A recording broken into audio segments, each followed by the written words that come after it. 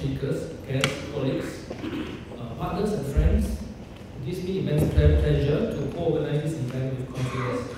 And once again, uh, thank you very much to Mark Wee, uh, who was here with us yesterday, and uh, his team for the gracious support uh, rendered to us by Design Singapore Council.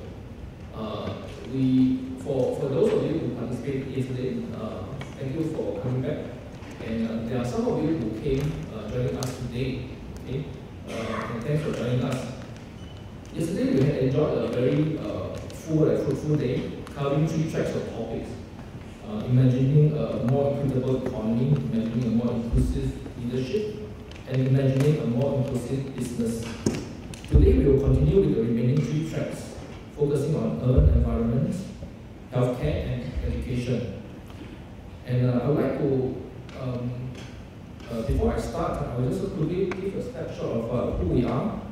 So this is uh, the spectrum of the work that CPG do. Um, we do a spectrum of works primarily in uh, consultancy for built environments and uh, project management, as well as we have a, subsidiary, subs- uh, subsidiary uh, providing services in facilities management. Okay, and our, our uh, business areas span across Asia, and this is a range of the uh, consultancy services that we provide. Um, for those of you who are from uh, outside Singapore, you may recognize some of these projects. Uh, Changi Airport, uh, Terminal 1, 2, and 3, um, Marina Bay, uh, Gardens, Gardens by the Bay, uh, Puat Hospital, um, National Gallery uh, of Singapore, okay, and some of the mixed-use development, uh, for example, Projector Singapore.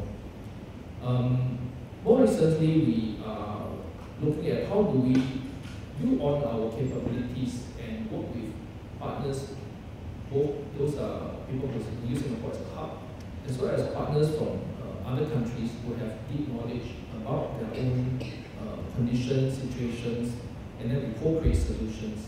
This is also part of the reason why we have uh, come together with Consulus and uh, uh, is one of our partners that uh, provide us insights beyond built environment. They provide us insights positioning, branding, um, uh, business consulting, and then we, we also work with many other partners. Okay, so I'd like to come back to the focus of this uh, conference. Um, I would like to refresh our memories on the notion of sustainable development. Okay, so the first broadly accepted notion that uh, we are all familiar with uh, was coined in 1987 by the by the Brundtland Commission, which states that sustainable development is the one that is one that meets the needs of the present without compromising the ability of future generations to meet their own needs. Uh, We are all familiar with this. So obviously it was well and good, but uh, such an overarching definition needs further refinement. So in the 90s, the idea of triple bottom line uh, accounting emerged. It advocates that besides financial performance, business should also take into account social equity and, and environmental factors. So a common uh, alternative phrase for this triple accounting was the three P concept, profits, people, and planet. So initially meant as a more comprehensive way for business to account for their performance, uh, the notion of 3P has over time become associated with the three uh, main dimensions of sustainability in general.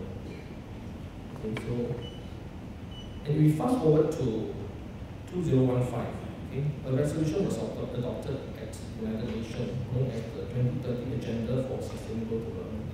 Those of you who, who join us today would have seen this uh, diagram several times. Okay, and in fact, today some of the speakers will continue to share with you. The, the agenda is a plan of action for people, planet, and prosperity, and comprising 17 sustainable development goals, as shown here, okay, with uh, 169 specific targets.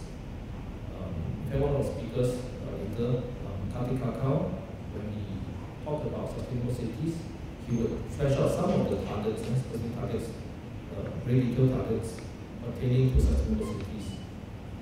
And uh, under the agenda, the initial three Ps had evolved into five Ps. Okay, today, under the UN, they are advocating these five Ps. The two, two, two new Ps are peace and partnership. Okay, so with all the five Ps, uh, sustainable development means um, starting people,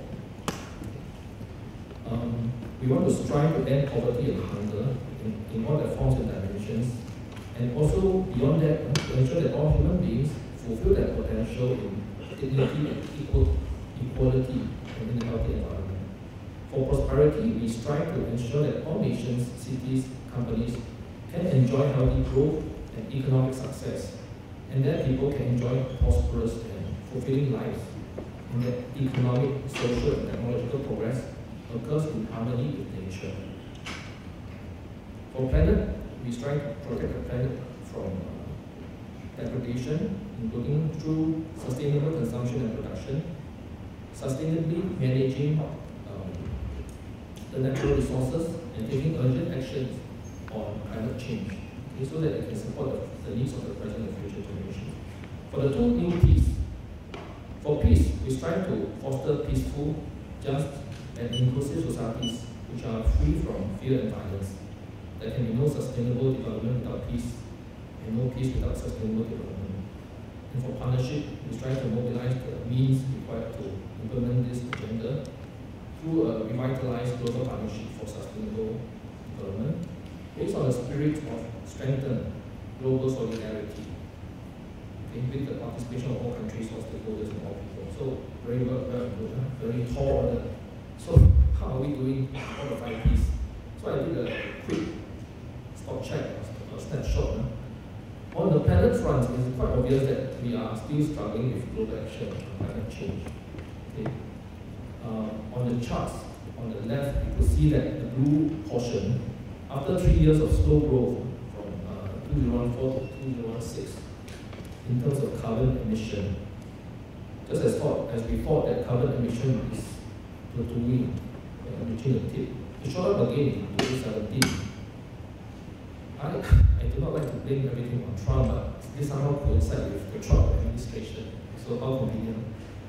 And uh, the chart on the right shows the various trajectories. Okay, so we are, we are familiar with this, right? I think in order to contain the temperature increase to 2% or less, we need to start to ensure that global, global climate actions will start to reverse the carbon emission trend.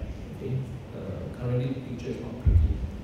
Uh, the, another one was speaker in track 4, uh, Tony Chan would, uh, review more information on this. And uh, on the people and prosperity fronts, a recent Credit Suisse Global Wealth report revealed that the richest 10%, uh, so roughly equate to that, the top two uh, triangles, owns 85% of the global wealth in 2018. So it means that the, the two bottom blue parts of the, the proportion shares the remaining 15% of the global wealth. Okay? The top 1% in fact accounts for about close to half, or 47% of all global household wealth. So this does not bode well uh, for global sustainability. The world will not be sustainable if only small privileged groups of people achieve wealth, social well-being, and environmental sustainability. It simply will not be sustainable. Again, this is something that perhaps in our own unique ways, our own uh, areas where we can influence, something we can do. We can do something about it.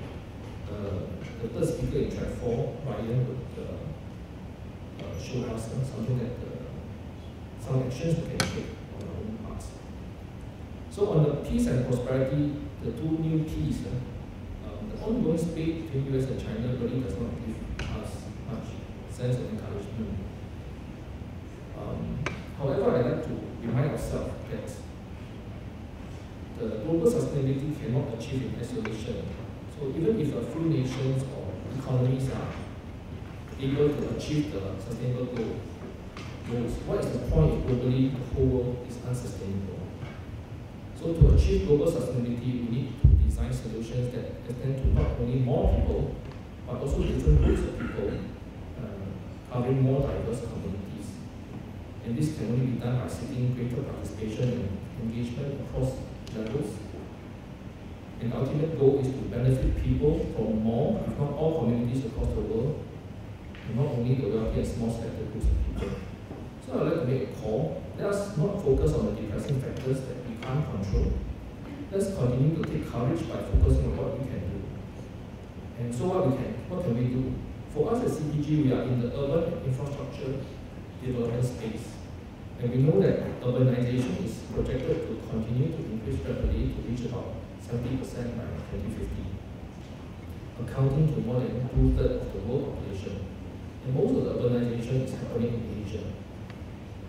Urbanization is an irreversible trend where cities are effective in bringing people together, allowing diverse range of activities to take place, transport, work, education, social, leisure, and in the process, cities currently account for approximately 80% of GDP generated worldwide.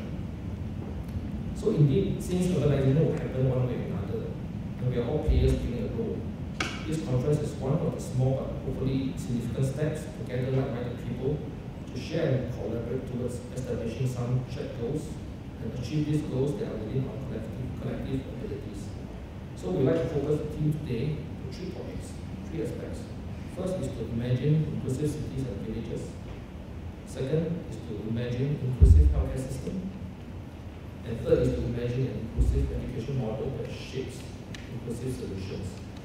And similar to yesterday, the format decided that in the morning, our speakers and panelists will share with you their knowledge and, and through the projects and fields of expertise based on their works done in respective part of the world. And in the afternoon, based on the three tracks, we would like the conference participants to select one of the design labs that interests you the most. The facilitators, who are my colleagues from CPG, will take you through a, a very compact, a shot of the design thinking process to attempt to co-generate some potential solutions that not only are more applicable, but also makes business sense, ensuring prosperity for all the stakeholders. And let's take heart that any progress or outcome that we achieve together will eventually contribute to some of uh, United Nations 14 goals. And more people will enjoy the benefits that cities generate. So at this juncture, allow me to run through a few more slides to frame the issues. Uh, throughout this conference, you hear two keywords that have been recurring. The first word is equity, okay, or being equitable.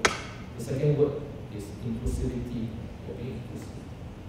Okay, let's, uh, today, these two keywords were dealt with in depth uh, for the benefit of people who join us today. Uh, let us frame the meaning of uh, equity.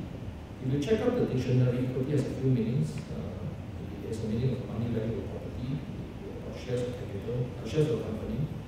And the third meaning is that the quality of being fair and impartial. So in this conference, we will frame the definition of equity of the third one that uh, is about being fair, being impartial. And yesterday we discussed at that it's not about being equal, it's not about everyone having a exact equal share, but it's about how we have a proportionally uh, um, uh, impartial share uh, that meets the needs of a particular group. And uh, what about inclusivity? So in some contexts, being inclusive is often narrowly uh, related, especially for us in the built environment uh, space. Sometimes we, we, we, use this term exclusively to, to, to refer to the people with disabilities. Um, in this context, we would like to broaden the definition of this term um, to, uh, to, have, to, to be referring to the quality of trying to include many different types of people and to treat them all fairly and impartially. Okay, so operationally for us, um, how we understand this and,